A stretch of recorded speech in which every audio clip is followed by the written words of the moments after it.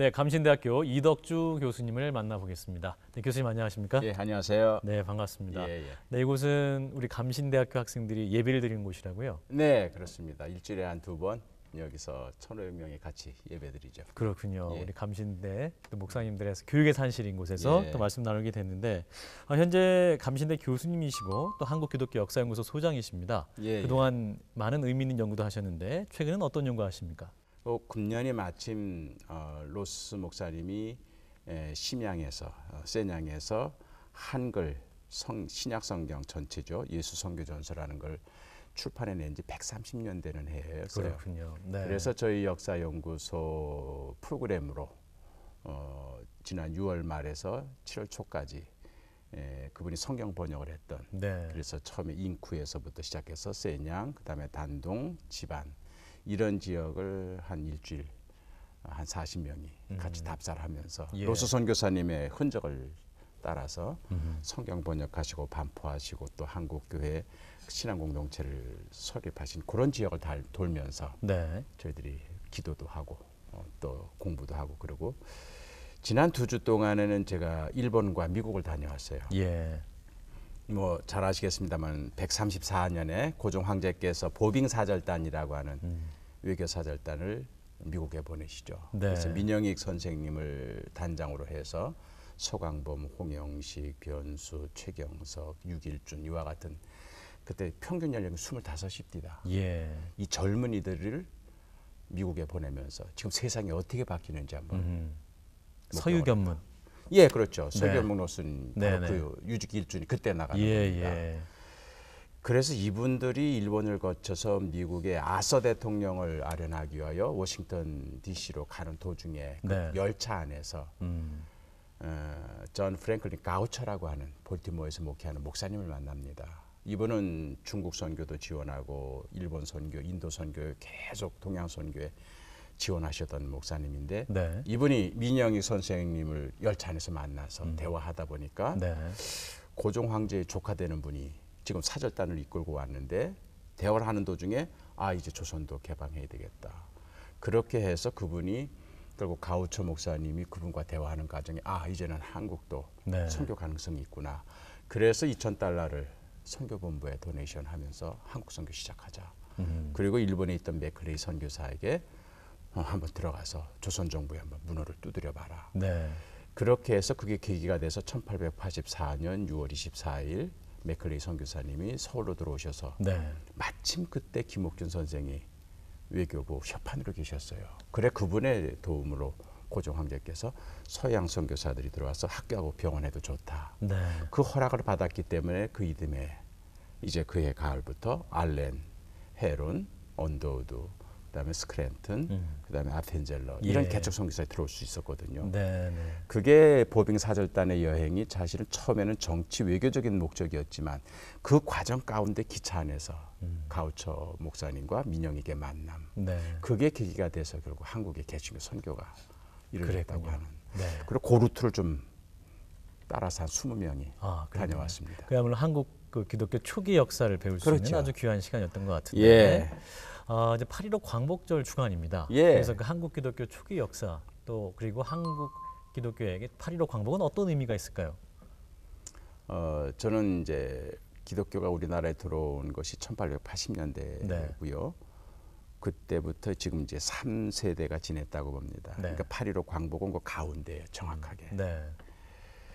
에, 기독교 복음을 우리 민족에게 전해준 것은 자유 해방의 복음이었어요. 네.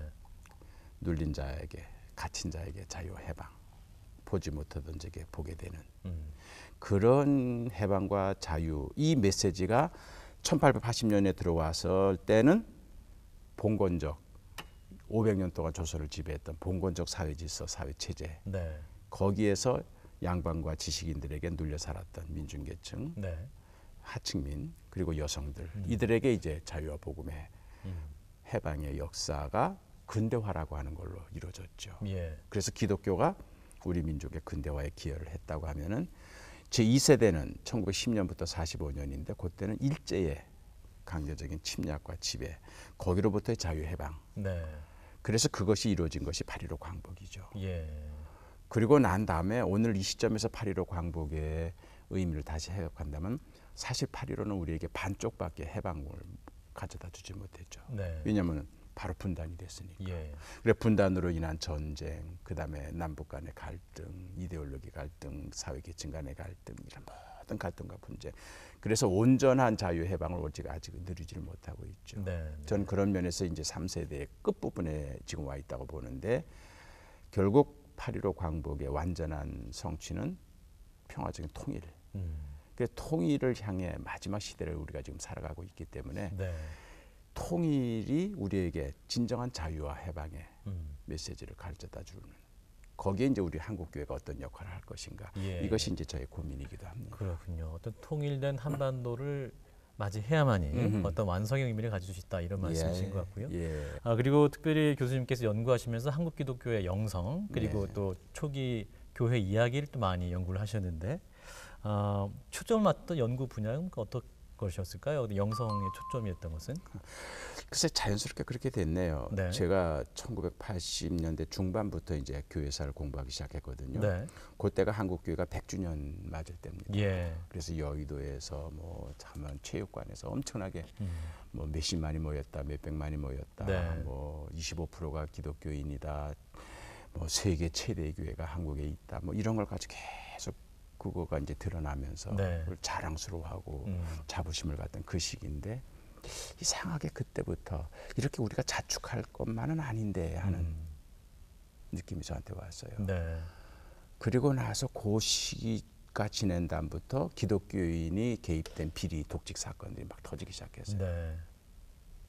그러면서 목회자들의 윤리적인 타락, 그 다음에 기독인 기업가들의 어떤 그런 부정 부패 사건들, 그러면서 소위 말하면 이제 기독교에 대한 비판, 소위 말하는 안티 기독교 운동, 네. 뭐 이런 것들이 막 일어나기 시작했어요. 그때 저한테 책을 쓰든 강의를 하든 기- 교회사를 가지고 뭘 논문을 쓰든 항상 메아리처럼 저한테 떠오르는 그런 말씀이 있었는데 요한계시록 2장 1절부터 7절 말씀이었어요. 에베소 교회 주신 주님의 경고의 네. 말씀이죠. 나는 내 수가 있느라 알고 있다. 네가 얼마나 참고 견뎠으며 얼마나 바른 신앙을 위해서 적그리스도라든지 잘못된 이단들을 척결해낸 거 잘 알고 있다. 네. 그런데 그렇게 한 일이 많은데 책망할 것이 하나 있다. 음. 처음 사랑을 잃어버렸다. 첫사랑을 잊었다. 네. 처음 사랑을 잃어버렸다. 네. 그러니 어디서 잘못됐는지 회개하고 처음 행위를 다시 하라. 그러지 않으면 촛대 옮기겠다.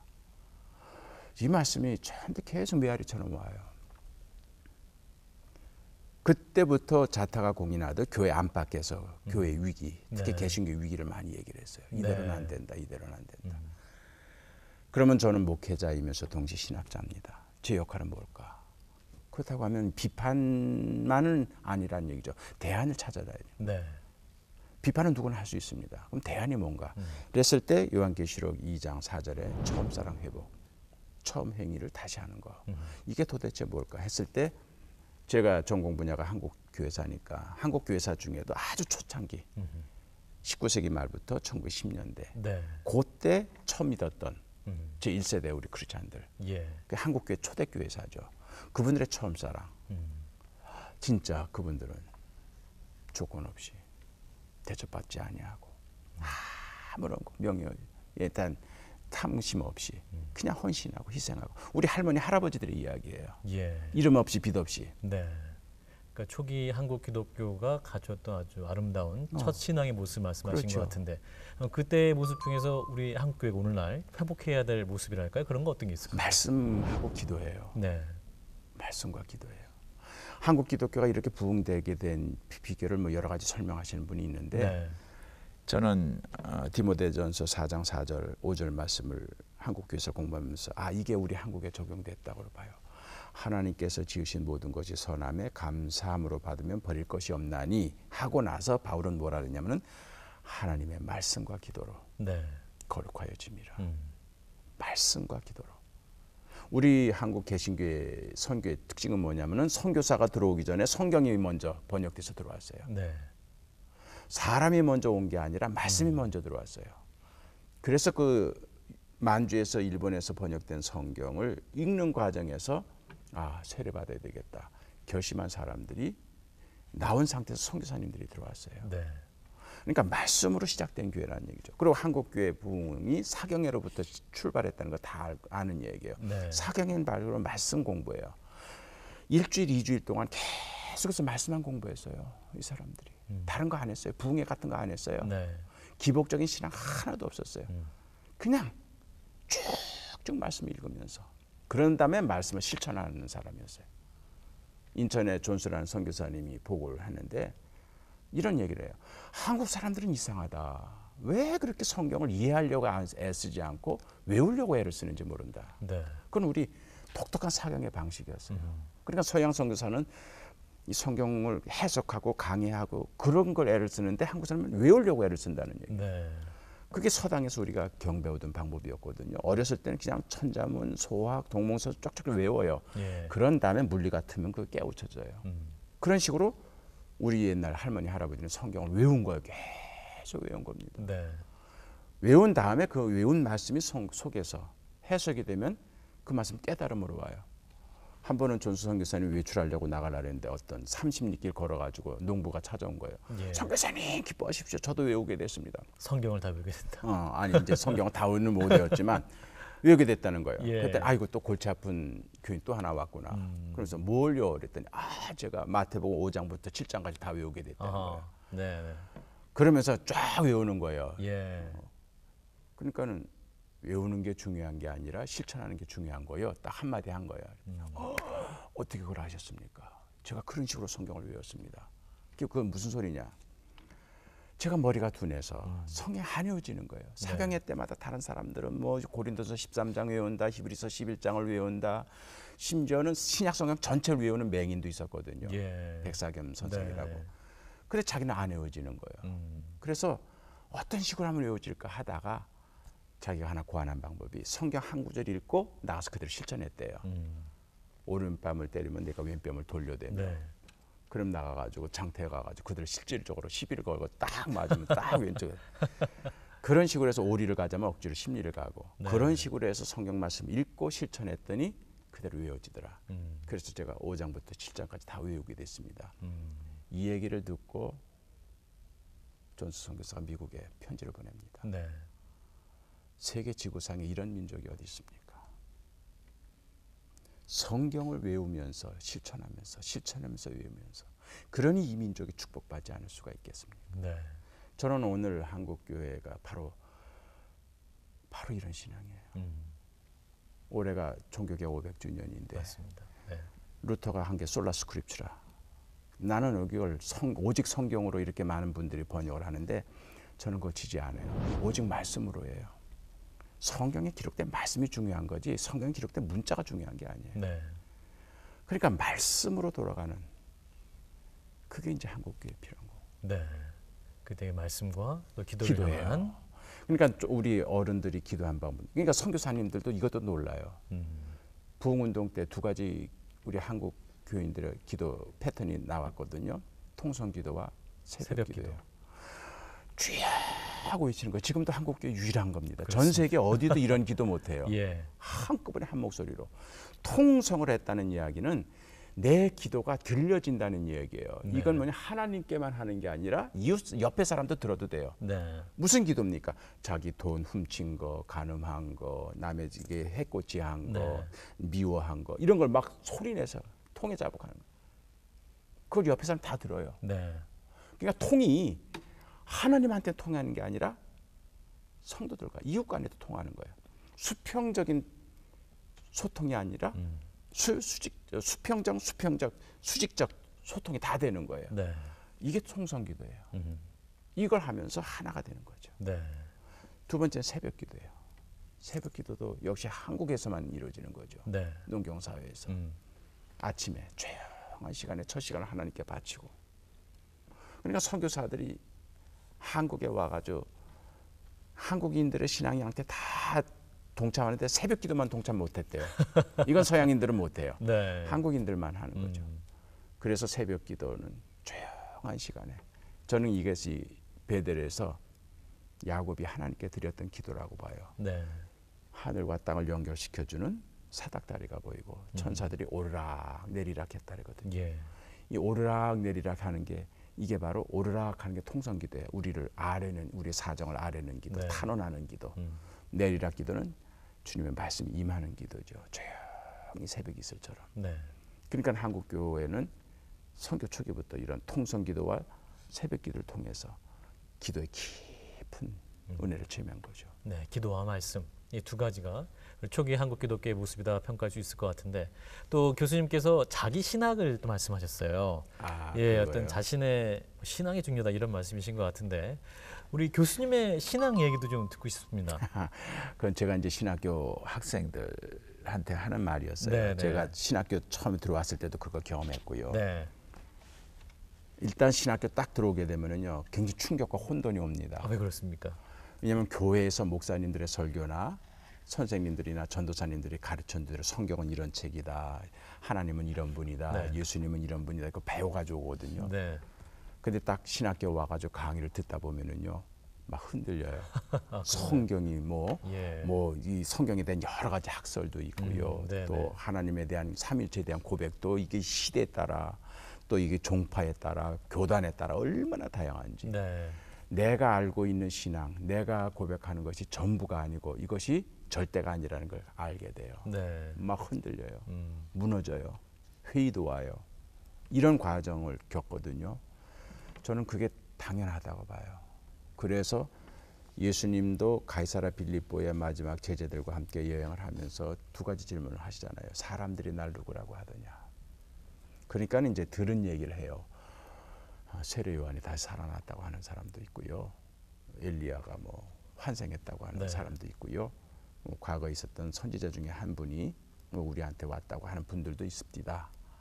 그렇게 보고를 해요. 예수님이 거기에 대해서 잘못됐다, 잘했다 한마디도 안 하셨어요.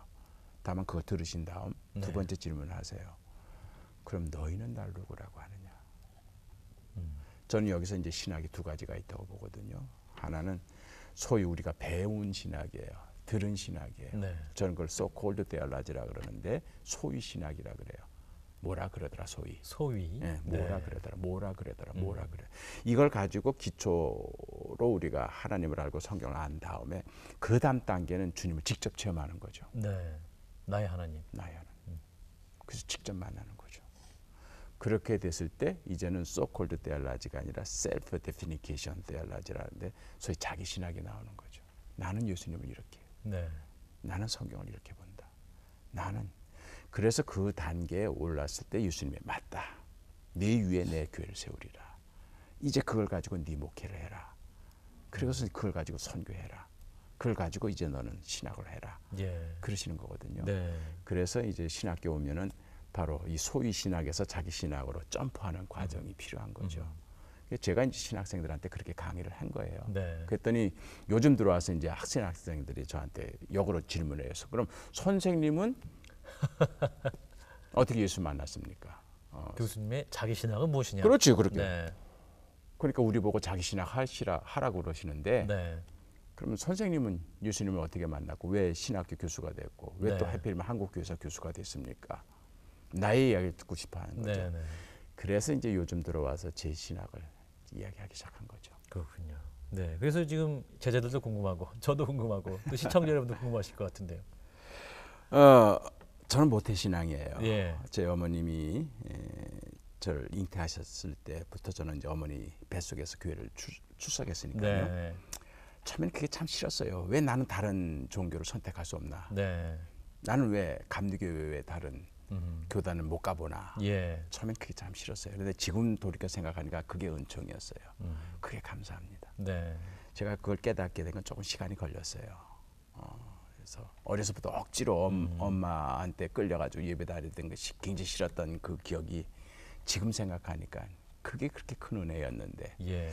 저희 어머님은 이제 서른다섯에 혼자 되셨거든요. 그래 우리 삼남매를 키우셨는데 굉장히 가난했어요. 그래 가난과 고독은 제 어린 시절부터 아주 친한 친구였어요. 처음엔 그게 싫었죠. 네. 근데 알고 보면 그게 은총이었어요. 저희 어머님이 한 번은 저희 삼남매 앉혀놓고 가족 예배를 드리시는데 아주 엄숙한 선언을 하시는 거예요. 얘들아 잘 들어라. 왜요? 그랬더니 지금부터 너희들 내 자식이 아니야. 음. 굉장히 충격을 받았어요. 네. 제가 초등학교 4학년 때니까 예. 나는 그걸 이제 가정 해체 선언으로 들은 거죠. 우리 어머님이 우리 삼남매를 키우기가 너무 힘들어서 음. 결국 우리 형은 머슴으로 보내고 우리 누나는 애보기로 보내고 나는 고아원으로 보내는구나. 얼마나 절망적인지 몰랐어요. 그런데 네. 그 다음에 어머니 하시는 말씀이 어제 저녁 예배당 가서 내가 철야 기도를 하는데 너무 너희들 키우기가 힘들었다. 그래서 하나님한테 하소연했다는 거예요. 너무 힘들어 얘들 키우기가. 그랬더니 하나님 그러시더래요. 왜 네가 키워? 음. 그래서 어머님 그럼 어떻게 해요? 그랬더니 나한테 맡겨. 예. 그래서 우리 삼남을 하나님께 바치기로 했다는 거예요. 아. 그러면서 이제 너희들은 지금부터 내 자식이 아니야. 하나님의 자식이야. 나중에 제가 신학교 올 때까지 귀에 못이 박히도록 어머니한테 그대로 들었어요. 네. 처음에는 그게 그냥 선언적 의미만 있는 줄 알았어요. 근데 어머님은 실질적으로 그렇게 하셨어요. 그렇다고 해서 그 순간부터 우리 집의 경제적인 상황이 나아진 것 아니에요. 계속 힘들었습니다. 네. 돈도 없고 쌀도 떨어지고. 근데 어머님이 그 전에는 쌀 떨어지면 쌀집에 가서 외상으로 가져오시거나 이웃집에 돈 꾸러 가셨는데 그 선언 하신 다음부터 그러지 않으신 거예요. 예배당 가서 어머니 무릎 꿇고 기도해요. 네. 하나님, 음. 당신의 아들 삼남매가 지금 쌀이 떨어서 굶어 죽게 됐어요. 어떻게 하실 거예요? 그리고 돌아오시는 거예요. 그럼 누가 갖다 놓는지 모르는 쌀 한 봉지가 우리 집 텐마루에 있는 거예요. 목사님부터서 노란 봉투가 어머니께 전달이 돼요. 나도 몇 번 경험을 했습니다. 네. 학교 등록금 세 번 못 내면 이제 빨간 고지서 날라와요. 이건 제적이에요. 그럼 어머니 담임 선생님 만나러 가야 되는데 안 그러세요. 이웃 집에 돈 빌리러 안 가세요. 그냥 나 고지서 들게 하고 같이 예배당 가요. 나 옆에 네. 앉혀놓고 어머니 기도해요. 음. 어머니 당신의 아들 덕주가 이번에 등록금 못 내면 학교에서 잘립니다. 어떻게 하실 거예요? 그리고 돌아와요. 해결돼요. 그러니까 우리 삼남매를 어머님은 어린 시절부터 만나러 키우신 거예요. 만나는 출처를 몰라요. 하늘에서. 음, 그럼. 그러니까 갚을 필요가 없어요. 계속 빚으로 남아 있는 거죠. 그래 우리 삼남매 만나 체질이 된 거예요. 네. 만나 체질의 특징이 뭐냐면 내일 일을 걱정 안 해요. 네. 내일도 내리기 때문에. 우리 어머님 우리 삼남을 그렇게 키우신 거죠. 너희 너희를 내가 키우는 게 아니다. 너희를 내가 먹이는 게 아니다. 내가 가르치는 게 아니다. 음. 하나님이 하신다. 예. 그러니까 어린 시절부터 그걸 귀에 못이 박히도록 갔기 때문에 네. 결국 저는 아 내가 하나님의 자식이구나. 그걸 결정적으로 제가 깨달은 게 중학교 1학년 때였어요. 네. 갑자기 소풍 가야 되는 날인데 다리가 아픈 거예요. 그래서 억지로 참고 기차 역전을 갔죠. 기차 타고 소풍 가니까. 근데 어머님이 나를 도시락을 싸줘서 가지고 왔는데 담임 선생님이 내 머리 만져보더니 야 너 빨리 병원에 가야 된다. 네. 그래서 아픈 다리 끌고 배- 집에 들어와서 쓰러졌어요. 어머님이 날 보고 깜짝 놀라신 거죠. 예. 다리가 아파.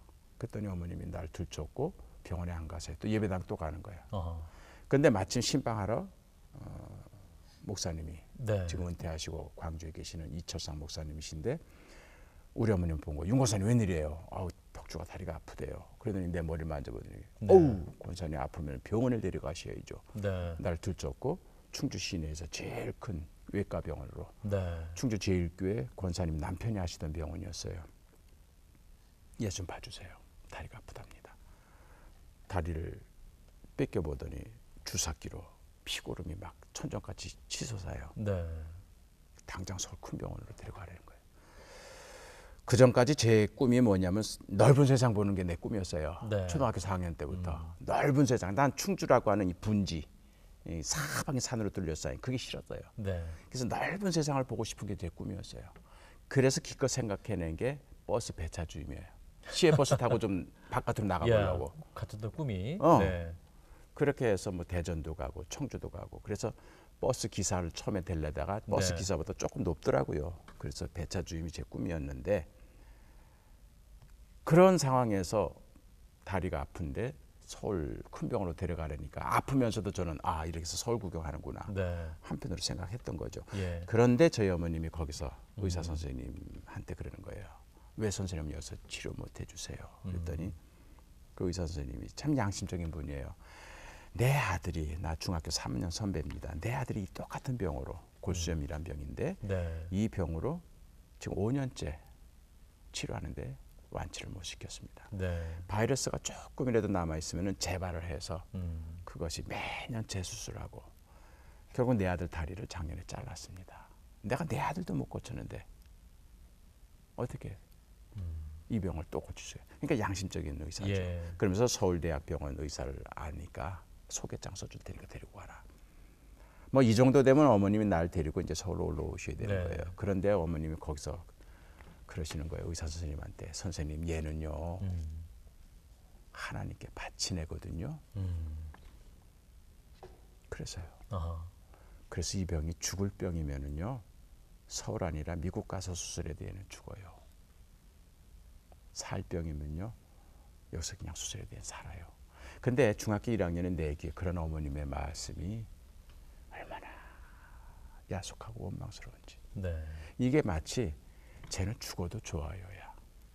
쟤는 버리네요. 이런 이걸로 들리는 거예요. 네. 그때 어머니 완전히 정이 끊어져 버렸어요. 예.